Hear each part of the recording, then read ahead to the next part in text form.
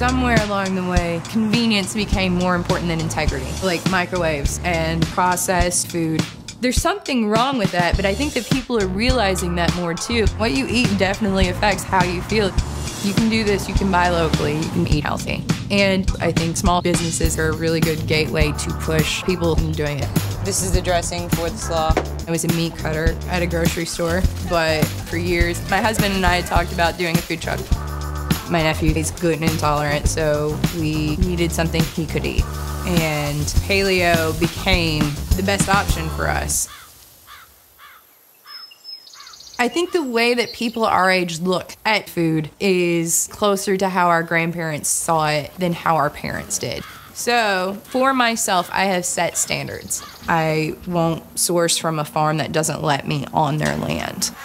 You won't let me come see your product, I don't want it. That half wild hog, uh, she had babies. A red one, a black one, a white one.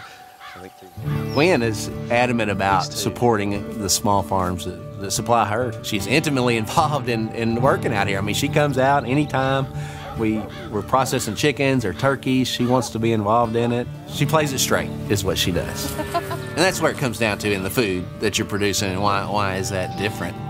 We get that question a lot. You know, why does your chicken taste different? Why does your pork taste different? I'm fully convinced because it's the lack of stress on the animals. You, know, a pig on concrete, how can they root? How can they dig? It's letting a pig be a pig, putting them in the environment they're set up to succeed in, what they're, they're made for. This is what we love doing, but it's hard. I mean, it's, it's really, really hard. It's like any small business, you have to be good at a lot of things.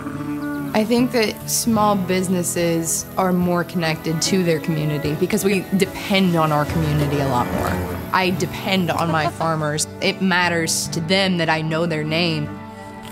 In farming, you've got every end of the spectrum as far as political views. I mean, the extreme is wide, and it, there's a coming together, a bonding. A lot of that is, hey, we're all in it together, and if we don't help each other, we're probably not going to make it.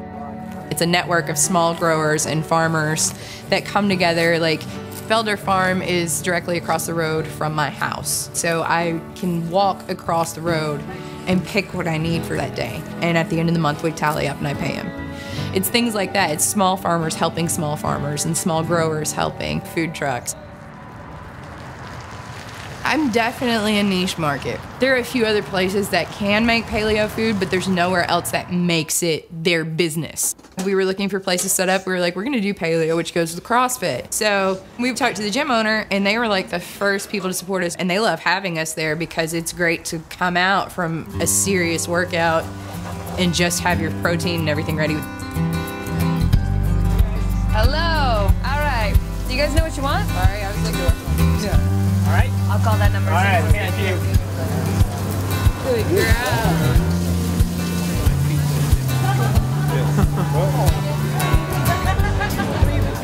it's nice having someone on your side. We own Goat Roper Farms, and we met Gwen through working at the farmers market. She always puts on her board and on her Facebook page, you know, where she gets her stuff from. People who want to know exactly where their food started and went through and ended, trucks like the Beast allow them to follow that process. I can introduce you to who grew your food, and that matters. She really, you know, has built this network of connections and farmers. Everyone loves to support her and uh, would bend over backwards if for anything that she needed. Helping Gwen, it's almost like a, a, like a paint supplier to an artist in a way. You know, like she's she's an artist and she is very particular about her her media. So it's always a always a pleasure. Proud. How's she doing that one? The people I work with and the people that I have surrounded myself with are a lot of like-minded people. I enjoy these people, and that's super rewarding for me because when it comes down to this, Beast is mine and I'm the one accountable for it. I own this. I have people who help me. I have farmers who believe in me. I need my food truck to be something I'm proud of.